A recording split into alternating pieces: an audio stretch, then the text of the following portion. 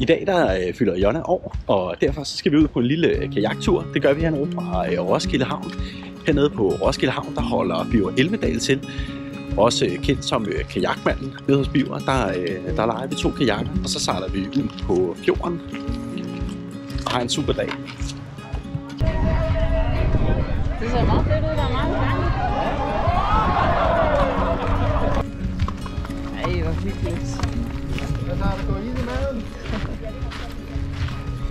Over ved, øh, over ved TV derovre. Ved at være klar i dag, der har vi øh, lejet øh, to kajakker. En fra Point øh, 65 øh, North og en fra Design Kayaks, et øh, dansk firma. Jeg smider et link til, til Biver, hvis man har lyst til at komme ud og sejle kajak her fra øh, Roskilde Havn og øh, ud igennem fjorden.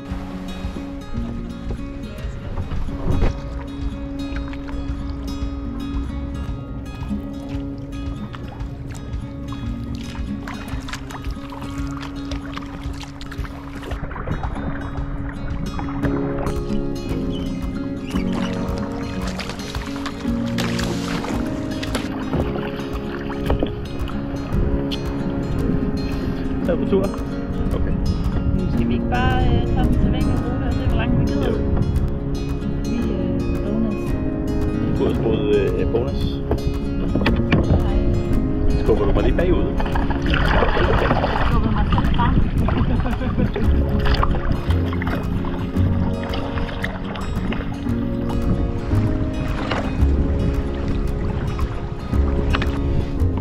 Som øh, ægte vikinger, der har vi simpelthen besluttet os for at øh, erobre Eleora. Eleora, det er en lille bitte ø, der ligger midt i Roskilde Fjord. Eleora, det er et selvstændigt kongerige. Øh, det har det i hvert fald været indtil i dag, hvor øh, vikingerne igen går i land på øh, Eleora. Så øh, fuld fart frem mod Eleora. Ja. Så.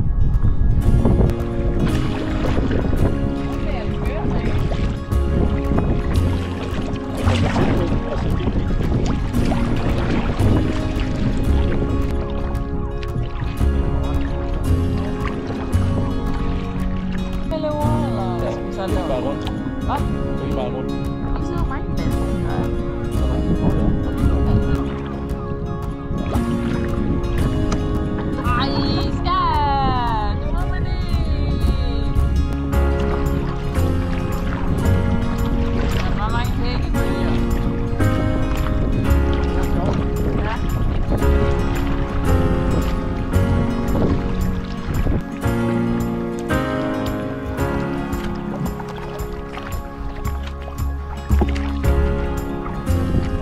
Gået i land her i øh, Kassingevig.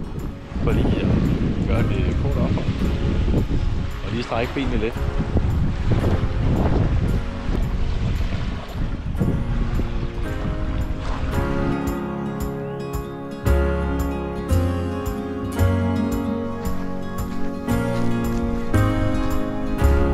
Og er vi ved at være klar igen? Perfekt.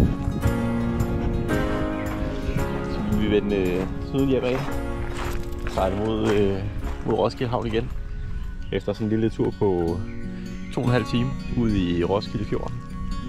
Rundt om Bonas og Eleora. Og så til sidst her i et ophold ved Kattingevig Lejeplads.